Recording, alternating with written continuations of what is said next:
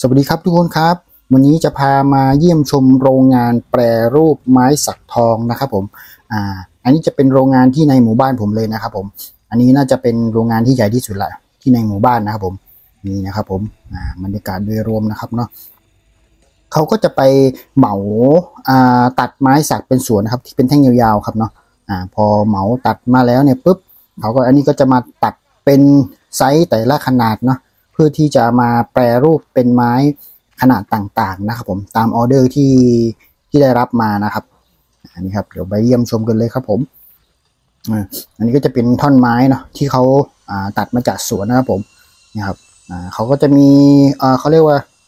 ตีหมายเลขต่างๆ ที่ไปตัดนั้นมาตามที่กรมป่าไม้เขากำหนดนะครับนี่ครับพอตัดมาแล้วบริเวณนี้คือเป็นบริเวณที่เก็บ ไม้ท่อนนะครับผมอ่านี่ครับผมเขาก็จะมีแบบที่ตัดแล้วก็มีที่ยังไม่ได้ตัดก็มีครับแล้วก็จะเป็นบริเวณที่อ่าใช้ในการตากไม้ด้วยครับผมอพอดีสมมุติว่าเราเอ่อแปรรูปไม้ออกมาเรียบร้อยแล้วนี่ครับ ก็เอามาตั้งตากว่าเป็นแบบนี้ครับผม นี่ครับผมดูลายไม้สักครับผมอ่านี่ครับ ไม้ก็จะได้ไม้เป็นทุกขนาดทุก ขนาดเลยนะครับ ทุกคนอ่าแล้วแต่ว่าไม้ท่อนนั้นน่ะ จะทำเป็นแปรรูปอะไรได้บ้างนะครับผมนี่นะครับผมอืมมีเยอะแยะเลย มีทั้งไม้ฝาอ่าไม้พื้น ไม้ที่ทำซี่บันไดมีหมดนะครับผม นี่ครับอ่าเขาจะมาตากไว้ก่อนนะครับเพราะมันเป็นไม้ดิบนะครับ ที่เขาเอามาเลื่อยนะครับนี่ครับเออ นี่ครับ อันนี้น่าจะเป็นไม้พื้นนะครับผม ไม้ทำพื้นบ้านนะครับผม อันนี้จะเป็นฝา น่าจะเป็นฝาบ้านอ่าถ้าดูจากขนาดแล้วนะครับผม นี่นะครับ ถ้าเป็นหน้าแรงเนี่ยก็จะดีเนี่ยแต่เป็นหน้าฝนเนี่ยจะลำบากนิดนึงนะครับ พอเราตากไม้ตรงนี้เสร็จปุ๊บเนี่ย ถ้าพอมันแห้งครับผม ก็เดี๋ยวก็จะมีที่เก็บอีกที่หนึ่งนะครับผมที่เป็นร่มครับผม อันนั้นก็คือจะเตรียมออกขายละ นี่มาดูบรรยากาศโดยรวมนะครับผมที่ลานเก็บไม้ท่อนนะครับผมที่เป็นไม้ดิบเนาะเขาก็จะขนจากตรงนี้ไปลงเลื่อยอีกฝั่งหนึ่งนะครับเดี๋ยวเราไปดูลงเลื่อยอีกฝั่งนึงดีกว่าครับผมเดี๋ยวมาดู ในโรงเลื่อยฝั่งนี้นะครับ อันนี้จะเป็นโรงเลื่อย แล้วก็เป็นเป็นบ้านของเจ้าของนะครับผม อ่านี่ครับ ฝั่งซ้ายมือก็จะเป็นอ่าในส่วนของไม้แปรรูปต่างๆ ที่มันแห้งเสร็จแล้วเนาะนี่ครับเขาก็จะมาเก็บไว้ในร่ม อ่า แบบนี้นี่ครับผมนี่ครับไม้ก็จะเป็นไม้ขนาดต่างๆ และไซส์ต่างๆ เลยนะผม ตามที่แปรรูปมานะครับ ลูกค้าก็สามารถมาเลือกซื้อเลือกสรรได้เลยครับ ผมว่าจะเอาไม้ ขนาดเท่าไหร่ไม้ฝาไม้พื้นไม้อะไรยังไงครับผม อ่า นี่นะครับลายไม้ก็จะเป็นเนี่ยครับผมน้ำตาลบวกขาวๆเป็นไม้ปานกลางครับ ถ้าเป็นไม้แก่นมากก็จะเป็นออกสีน้ำตาลไปเลยนะครับ ไม้ส่วนใหญ่ก็จะเป็นไม้ขนาดนี้ครับ ที่เขามาใช้งานกัน ไม้ประมาณเอ่อสิบกว่าปีขึ้นไปครับผมนี่นะครับ นี่ครับบรรยากาศตรงเลยเดี๋ยวเรามาดูเขาเลื่อยไม้กันดีกว่านะครับ ทุกคนเนาะอ่า มาดูอ่ามาดูลงแรกกันนะครับผม นี่ อันนี้น่าจะเป็นในส่วนของอ่าการแต่งขอบไม้นะครับผมทุกคน เวลาเลื่อยมาแล้วเนี่ยครับผมไม้มันอาจจะไม่ได้ขนาดเนาะอ่าอาจจะมีแบบเกินนิดเกินหน่อยแล้วอาจจะไม่ตรงอะไรครับ อ่านี่ครับ อันนี้เขาก็จะมาแต่งขอบนะครับผมใส่ไม้ที่แบบมันเป็นส่วนเกินที่ไม่ได้ขนาดนะครับออกครับผมนี่ครับอ่าอันนี้ก็จะเป็นลงอันนี้จะเป็นลงลงเลยเล็ก ๆ นะครับอ่าอันนี้จะเป็นใบเล็กเนาะแค่ตัดแต่งขอบไม้ให้มันได้ขนาดต่างๆ นี่นะครับ ไม้ค่อนข้างสวยแล้วครับทุกคน อืม อันนี้น่าจะเป็นไม้ฝานะครับ ฝาบ้านนะครับอืมมาดูกันใกล้ๆครับ นี่ครับ มันจะเฉียนออกไม่เยอะนะครับครับคือมันจะมีพวกตอนที่เขาอ่าเลื่อยที่เป็นท่อนๆมาเนาะมันมันอาจจะไม่ได้ขนาดนะอันนี้ก็น่าจะเป็นมาแต่ง ให้มันได้ขนาดแล้วก็เพื่อที่จะพร้อมออกไปจำหน่ายนะครับ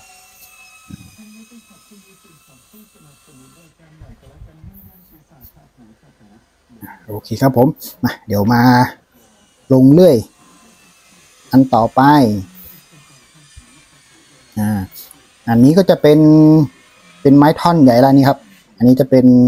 เอาไม้ท่อน มาเริ่ม รรูปแล้วครับอ่าครับอันนี้เป็นท่อนๆเลยนี่จะเป็นเลื่อยเลื่อยใหญ่หน่อยนะครับ ทุกคนนี่นะครับโอ้ไม่ใช่ง่าย ๆ นะครับ ทุกคนเอ่อคนที่จะมาเลื่อยเนี่ยจะต้องมีฝีมือระดับหนึ่งเลยนะครับ ผมต้องมีฝีมือต้องมีประสบการณ์อ่าดูครับ ก็คือไม้เนี่ยจะเป็นท่อนกลมๆนะครับเนาะแล้วเขาก็จะมาตัดแต่งให้ขนาดให้เป็นเป็นแบบทรงสี่เหลี่ยมครับ เพื่อที่จะ เอามาขึ้นแปรรูปได้ครับนี่ครับเขาก็จะมีเฉือนนะครับ ให้มันได้ขนาดครับนี่ครับโหแบบมันมันมันไม่ง่ายนะครับ ทุกคนนะกว่าจะแปรรูปไม้ออกมาได้แต่ละชุดละชุดครับผมนี่ครับไม้ก็จะเป็นท่อนกลมๆแบบนี้อ่าแล้วก็มา แบบปรับแต่งขนาด ให้มันได้กับไม้ที่เราจะแปรรูปออกมานะครับมครับมาดูกันใกล้ ๆ เลยนะครับนี่ครับ อันนี้จะเป็นขั้นตอนแรกเลยเนาะที่ว่าเอาไม้ท่อนมานี่ครับ แล้วก็มาเลื่อยเฉือนเอาที่ไม่สมดุลเนาะออกนะครับ เพื่อที่จะได้ขนาดไม้ที่เราจะแปรรูปนะครับผม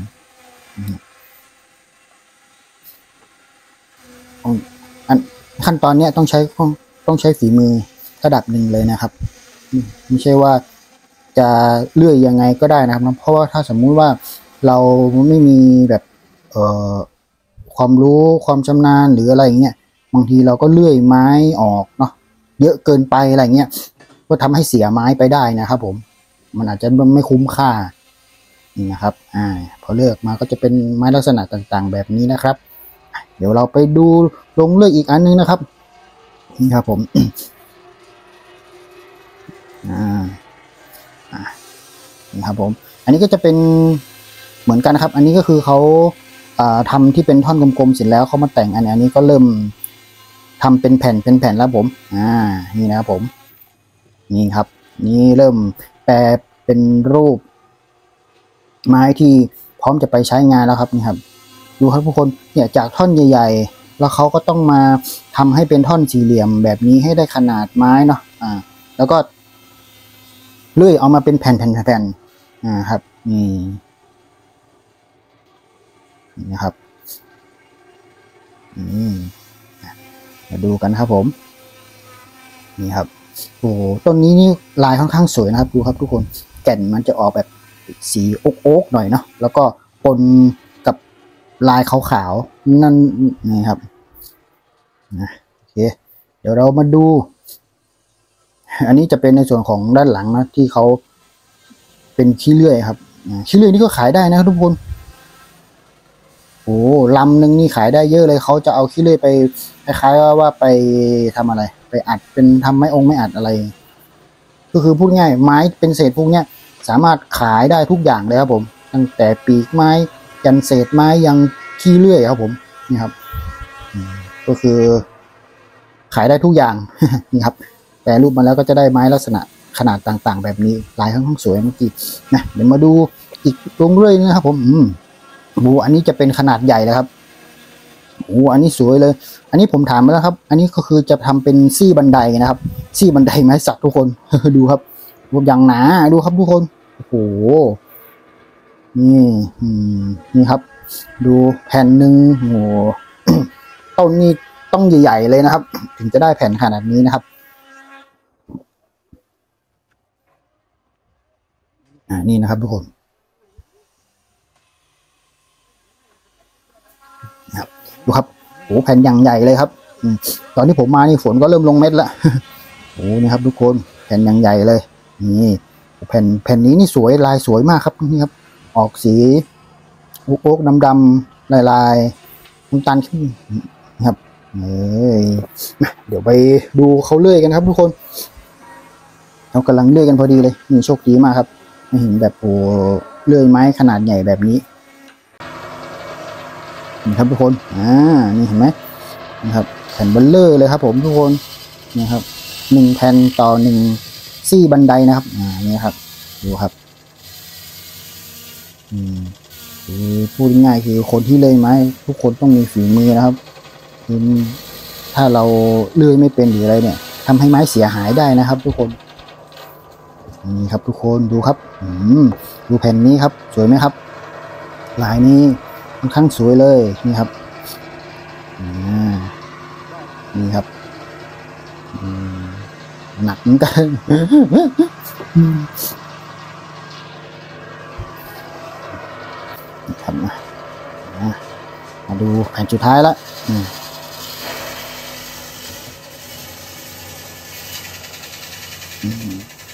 ดูครับทุกคน ไม้สักทองของจังหวัดแพร่นะครับอืมนี่จะเป็นโรงงานใหญ่นะในหมู่บ้านของผม ผมว่าต้นนี้น่าจะเป็นต้นขนาดใหญ่มากเลยดูครับ อันนี้เป็นแผ่นเดียวนะไม่มีประกบอะไรเลยครับ ดูหน้าหน้าสิบแปดขึ้นไปนะผมว่านะครับ ขนาดหน้าไม้นะครับอืมนี่ครับบรรยากาศโดยรวมนะครับ ผมอ่ในโรงงานของเขานี่ครับนี่ก็จะเป็นไม้แปร ไม้ที่แปรรูปเรียบร้อยแล้วเนาะก็จะเป็นขนาดต่างๆ นี่ครับผมมาเลือกสรรกันได้ว่าต้องการขนาดเท่าไหร่อืมครับเอาสวยๆเลย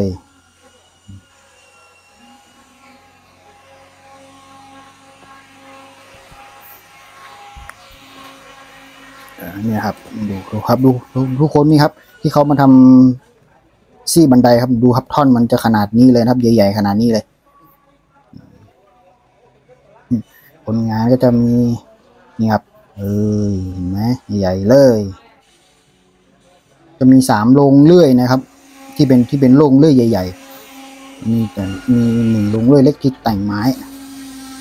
อ่านี่ครับทุกคนนี่ เดี๋ยวมาดูนี่ครับอ่ามาดูอีกโรงหนึ่งเขาเพิ่งจะเอาไม้ท่อนกลม มาเริ่มแปรรูปครั้งแรกนี่ครับ อันดับแรกก็นี่ครับเขาก็จะเฉือนอะเนาะด้านข้างออกแบบนี้อ่าเพื่อให้ได้ขนาดก่อนหนึ่งฝั่งนะครับผม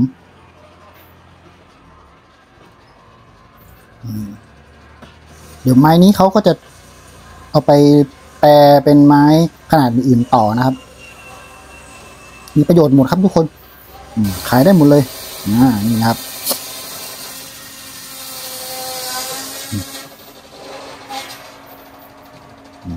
เริ่มสอยทีละข้าง สอยทีละข้างเพื่อปรับขนาด ตามที่จะตามไม้ที่จะแปรรูปออกมานะครับผมนะครับผมก็ไปขอเขาถ่ายเนาะนี่ยืนยืนอยู่กองไม้เลยครับนี่ครับ ถ่ายมาให้ทุกคนได้รับชมนะครับ ผมนี่ไม่ได้เกะกาเขานะครับในพื้นที่นี่ครับ ไปออกสองฝั่งสามฝั่งละอ่านี่ครับเดี๋ยวมันก็จะเหลืออีกฝั่งหนึ่งเนาะอืมนี่ครับ ดูจะเริ่มเป็นสี่เหลี่ยมละ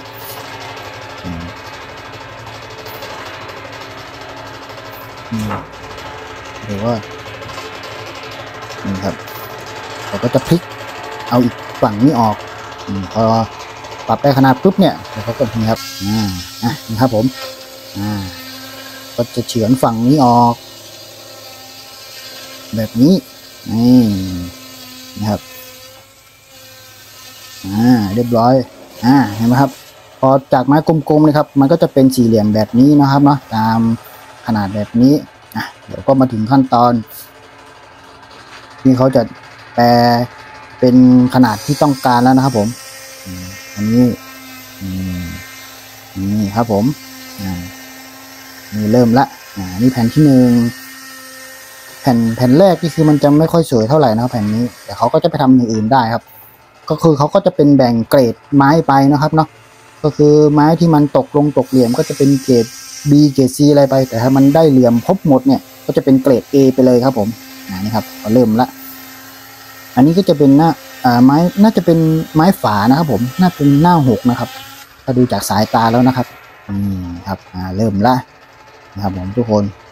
จากไม้ท่อนกลมๆ แล้วก็แต่งเป็นสี่เหลี่ยมอย่างนี้อะ แล้วก็มาแปรรูป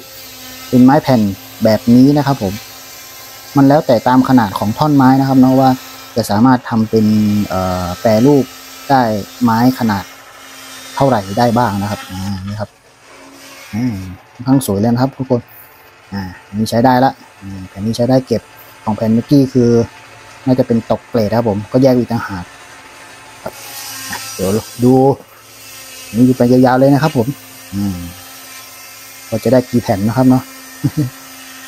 ครับ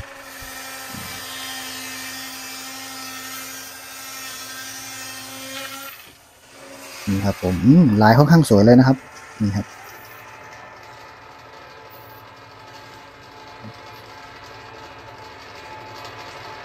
ถ้าเราได้ไม้อายุ